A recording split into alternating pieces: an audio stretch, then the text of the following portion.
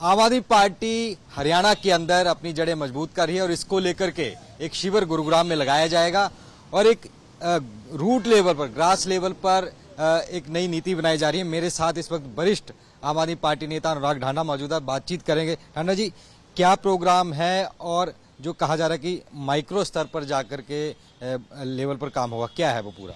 देखिए, जैसा इसका नाम है, ये एक प्रशिक्षण शिविर है। हमारी सारी लीडरशिप करीब करीब डेढ़ सौ सीनियर लीडर्स जो हैं, वो हरियाणा के अलग अलग हिस्सों से पहुँचेंगे।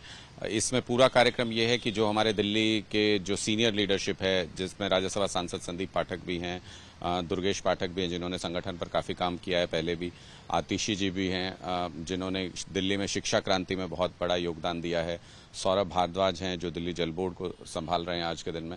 ये तमाम जो सीनियर लीडरशिप है, संजय सिंह भी आएँगे, राज्यसभा सांसद हैं, जिन्होंने शुरू दिन से लेकर आज तक पार्टी का सफ़र क्या रहा, वो पूरा देखा है। ये तमाम लीडरशिप हमारे जो हरियाणा के लीडर्स हैं, उनको वो नुस्खे वो चीज़ें, वो वो प्रशिक्षण देंगे कि किस तरीके से एक अच्छा संगठन तैयार करके हरियाणा में भी मजबूती के साथ चुनाव लड़ा जा सकता है। तमाम जो टॉप लीडरशिप है, उसको एक लाइन में लाने के लिए बिल्कुल एक जैसा माइंडसेट हो, एक जैसी सोच हो सारे लीडर्स की। और एक ही लक्ष्य को हासिल करने के लिए सब लोग अपनी मेहनत कर रहे हो, अपना ज़ोर लगा रहे हो। इसलिए इस तरीके के प्रशिक्षण शिविर आयोजित किए जाते हैं।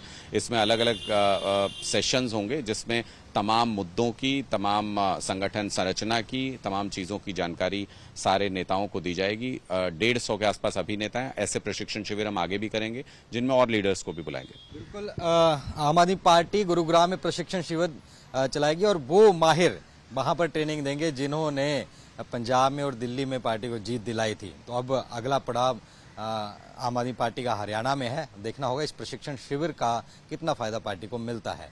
दिल्ली से कैमरामैन आदित्य के साथ नितिन धीमान एम न्यूज़।